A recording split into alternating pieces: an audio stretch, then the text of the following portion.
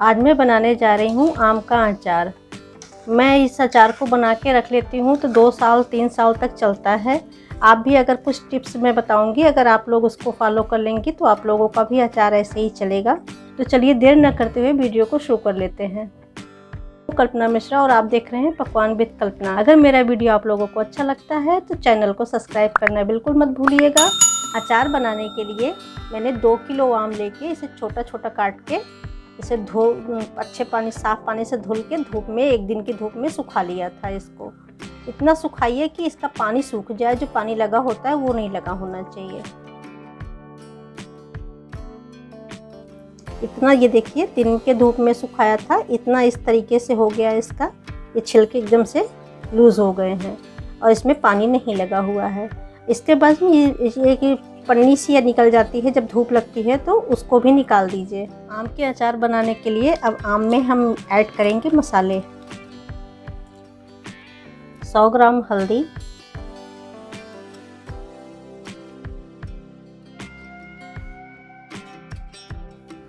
लाल मिर्ची कुटी हुई। पाउडर नहीं, कुटा हुआ लाल मिर्चा। 100 ग्राम। और ये लहसुन है, इस कटोरी से एक कटोरी था। मैंने इसको कूट करके इसको मिला देना है इसमें। अगर आप लहसुन खाते हैं तो डालिए, नहीं खाते तो मत डालिए। ये एक चम्मच हींग है, दानेदार हींग है तो इसीलिए हम इसको एक चम्मच से थोड़ा सा ये दिख रहा है जो खाली खाली तो बस इसलिए नहीं तो ये और इसको हम इसमें मिला देंगे अचार में। ये है आम के अचार का मसाला। इसमें धनिया जितना जैसे आप 200 ग्राम अगर धनिया लेते हैं तो 200 ग्राम धनिया 100 ग्राम सौंफ 50 ग्राम मेथी 50 ग्राम जीरा और 10 ग्राम से 15 ग्राम कलौजी। ये सब हमें भून करके पीस लेना है और वही मसाला मैं इसमें मैंने पीस लिया था, मैं डाल रही हूँ।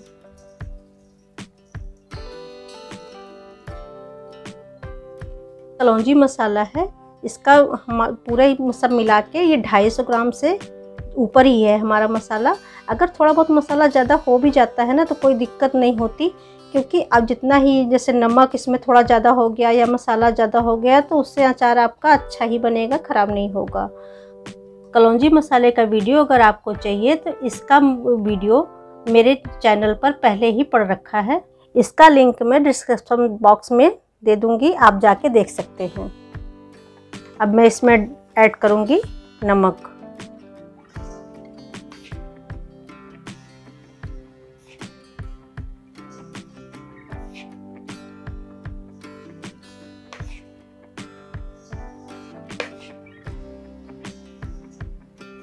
मैं इसमें नमक डाल दी हूँ। अगर आप नमक डालते हैं, थोड़ा ज़्यादा भी कर देते हैं तो उससे अचार आपका सेफ़ ही रहेगा, ख़राब नहीं होना। अब मैं ऐड करूँगी इसमें सरसों का तेल। मैं तेल गरम करके नहीं डालती हूँ। ठंडा तेल ही पड़ता है।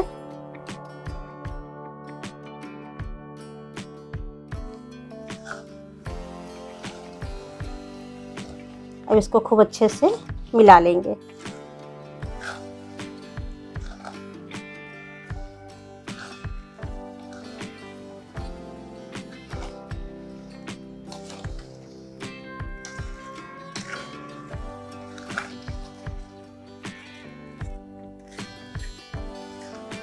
और ये मैंने अच्छे से इसको मिला लिया।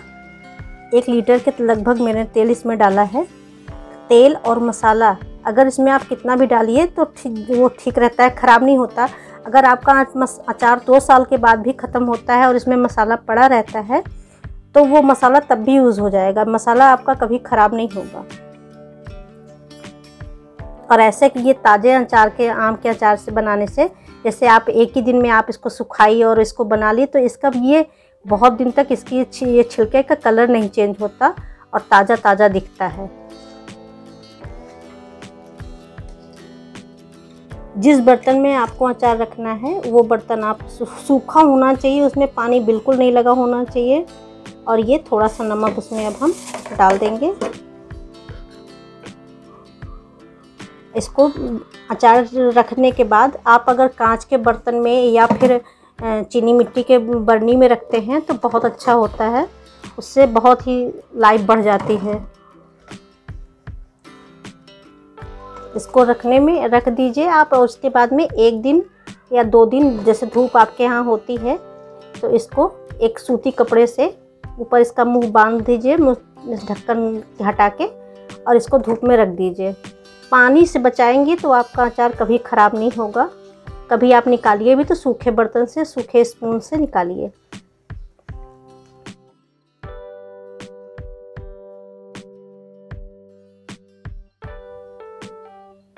मैंने अचार बना लिया है।